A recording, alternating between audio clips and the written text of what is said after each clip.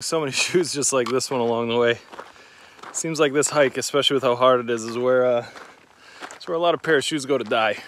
I can see why. Starting the day off in a more Spanish way with just a giant baguette and a croissant, or what was left of a croissant. we have really become one with the way of eating here. And uh, yeah, we have our longest walk yet today. Today we're going all the way from Los Arcos to Logroño, which is about 28 kilometers, which can't do the math off the top of my head, but seems like it'd be about 18 miles. I don't know. So yeah, as a result of that, we had to say goodbye to a couple friends. They were heading further down the trail. It's always a sad moment. Never gets easier, but uh, maybe we'll make some new friends today. Yesterday was truthfully a pretty low day for us. You start to wonder, why am I on this? Uh, in a lot of ways. When we started off the day wrong with a fire alarm at 5.30 in the morning, that certainly didn't help. And we just kind of felt really, really bored all day. Touche! Very nice. And I think honestly that's gonna be our biggest challenge, our biggest opponent throughout this entire thing is just how to deal with boredom. Usually if we get bored of a place or something, we just move on, go somewhere else. And with this, there's not something else to do. It is just walk for six to eight hours and then make it to your hotel, maybe grab some dinner and then head to bed. And it's the exact same thing every single day. I don't think the physical fitness is gonna be a real difficulty for us. I think we're kind of starting to adapt to that. oh, nope.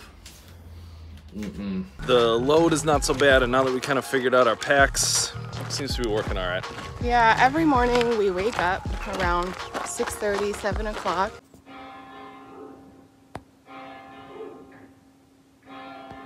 Get ready in about 10 to 15 minutes and get up and go. Usually buy some sort of bread, Walking stick and bread, all we need. and fill up our water bottles and begin our trek. And usually our moods in the mornings are pretty good. We set our intentions and our goals and our hopes for the day and we feel pretty hopeful for the entire day.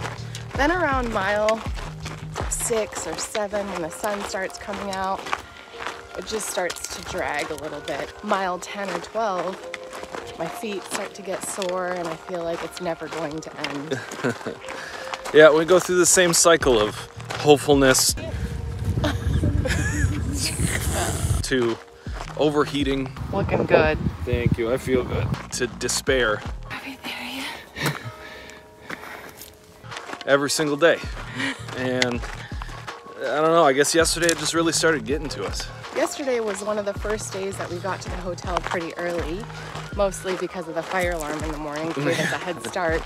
Yeah. And honestly, I just passed out as soon as I sat down on a couch. Yeah, and yesterday, pretty much the whole day, we were just avoiding talking to people. We just weren't feeling like it, and that's kind of an option on the Camino, but also kind of not. I think it was somewhere between a mixture of this overwhelming feeling of just how much longer the Camino is and just how many more miles that we've got to go, which is like 400.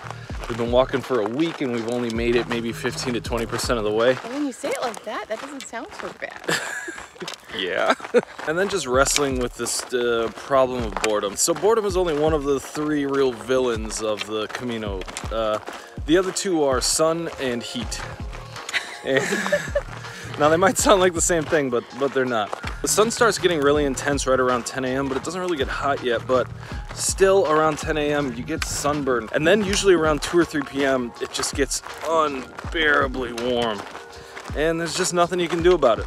I mean, heat and sun is, is no bueno, but I don't really sunburn as much, thank goodness. I feel like the thing that I struggle with the most is staying present and not always looking towards the future. How you doing?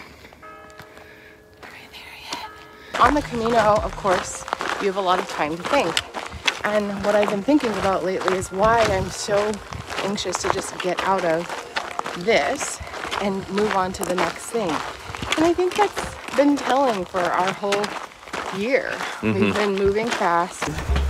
This is so long. Do you think if I run faster, then we'll get there faster? Yep, that's how planes work. Trying to get to the next place. And I don't know, I really just want to be able to stay present and enjoy what we can here. And I have a feeling that everybody that comes in the Camino kind of goes through the same crucible that we're going through right now of just fighting this uh, this boredom because there's just nothing to do but just walk all day every day and that's a very different shift and that's also one of the reasons why we wanted to do this in the first place.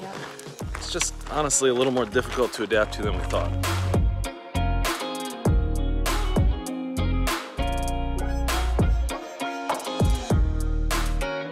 So, after wrestling with this quite a bit the last couple of days, we talked about ways that we could change this. We talked to some friends who've done the Camino, we've talked to people who are walking the Camino now, and I think it all comes down to doing what's best for you, doing this your way. I know that's really cheesy because that's what people say when they do the Camino. They say, there's no right way, there's no one way, there's your way. I think we just have to give ourselves a little bit of room to do things the way that we think is right for us, which might mean slowing down, which might mean taking breaks, and might mean switching it up.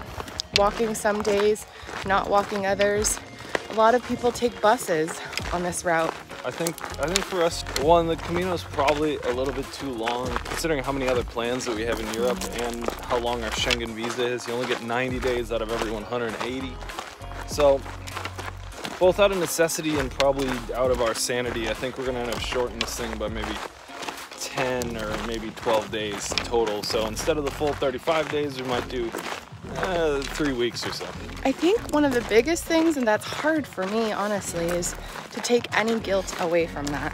If we make it to Santiago, we make it. If we don't, we still have had an awesome, really great experience meeting people we never would have met before. And the amazing thing that I think we're overlooking constantly is that we've already walked about 100 miles. That's a massive amount of mileage and something I probably would have never done, maybe even in a month or maybe even in a year, to mm-hmm. walk 100 miles. So, I don't know. I think we've I think we've already accomplished something great and to try to do this thing to anyone else's standards of what like the right way to do it is just seems like it would be doing it wrong. I think for me, the thing that I really just want to escape and, and hopefully work on for the next few days is changing my mentality. It's no longer about how many miles we walk or where we make it. Do we make it to Santiago by foot or by bus or by bike or how fast we go? This is so far just been a great experience. Some challenges, but it's life. But of course, we're saying all that one mile in. We'll let you know if we uh, feel the same level of optimism at, you know, 10 or 15 miles in.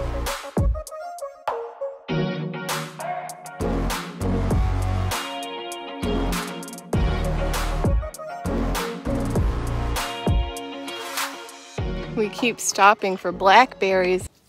So pointy. They're so good. We keep saying, okay, let's go, that's enough. And then we find some good ones. That's a good one. Wow. It's like, here's a good bunch. We're seeing so many shoes just like this one along the way. Seems like this hike, especially with how hard it is, is where uh, it's where a lot of pair of shoes go to die. I can see why.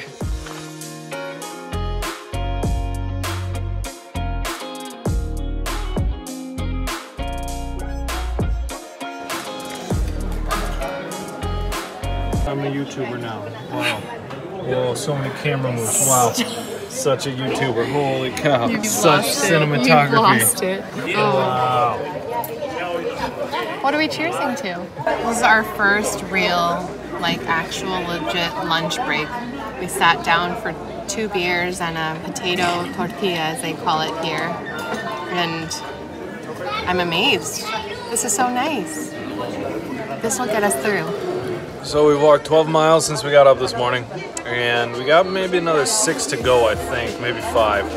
I think physically we're both doing just fine. We're definitely slowing down as this whole day comes to an end. You know, we're walking slower than we were when we started, but Honestly, I thought today was going to be a lot harder than it currently feels, but I'm sure I'm going to regret saying exactly that in another three or four miles. We're just kind of walking at our own paces. I'm listening to music. Lisa's listening to some podcasts. It's beautiful out there.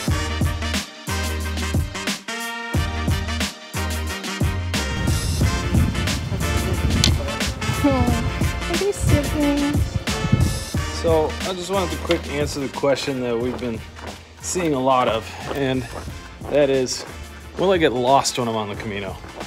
As in, will I ever lose my way? Will I ever not know what the right way is? And I guess, first of all, I'd say there isn't really a right way except for to just end up in Santiago. But even then, not everybody goes all the way to Santiago. Some people, a lot of people that we've met, have just been doing this for seven to 10 days and sometimes just a weekend. So, eh.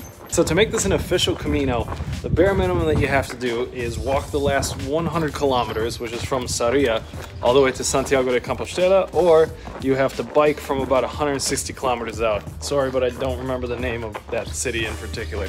Um, and you also need to get two stamps into your pilgrim's passport every single day, and you can get that pilgrim's passport all the way in Sarria. You get these stamps from each hotel or albergue that you stay at each night. In addition to every restaurant you go to, some grocery stores have them, some churches have them. It's really quite easy to get two stamps per day. Basically, everybody wants to stamp your passport. You should let them because it looks really cool. But honestly, I think it'd be really, really difficult to get lost in this because literally every 50 to 100 feet, there's either a bright yellow arrow such as that one right there, or the one behind me here, or Just up right there. or one over there, or there's the shell symbol. And you just kind of follow all of those. And what we've experienced is that basically every time that we don't know where to go, if we just stop and look around for a second, you'll see that there's a symbol telling you exactly which way to go. So as long as you're following the sage advice of Ace of Base and opening up your eyes and seeing the signs, I think it's honestly pretty difficult to get lost and I wouldn't worry about it too much. I saw the sun. It opened up my eyes. I saw the sun.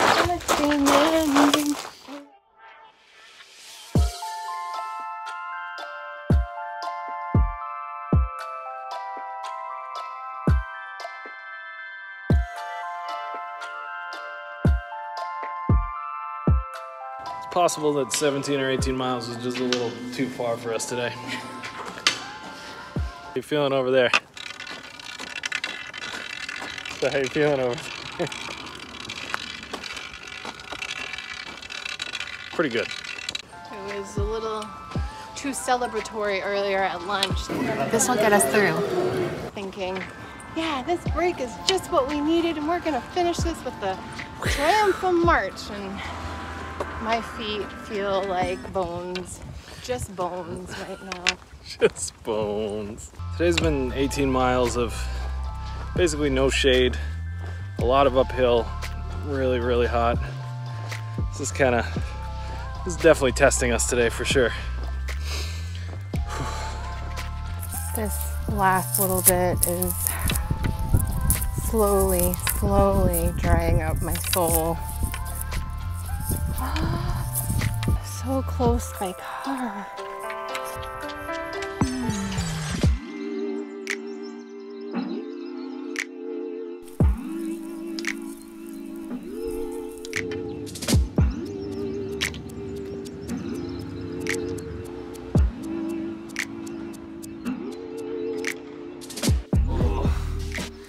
There's nothing better than taking the shoes and socks off at the end of the day.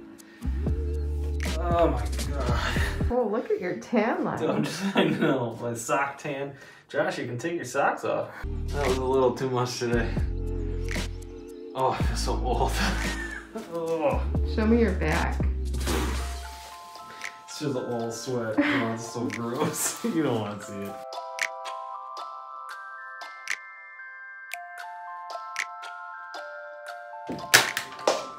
We have a fan, thank God. Should be mandatory in every room.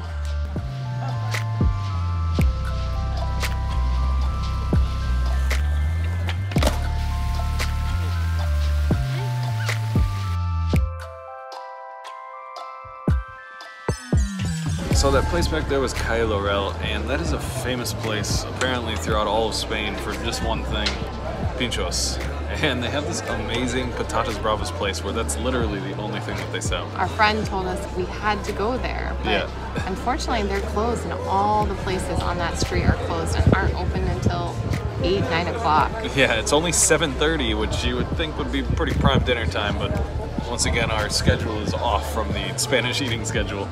Uh, we found a place nearby that happened to be a little more open. So we were walking around the city and we just had such a great time. I think we're just gonna stay another night. What do you think?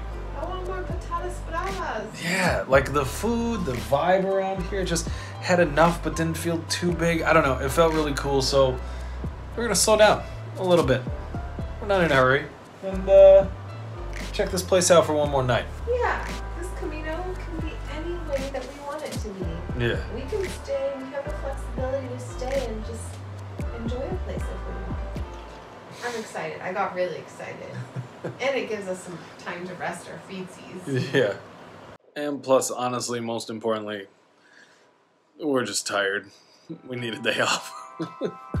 so, that's it for the video today. Thanks so much for watching. We'll see you tomorrow.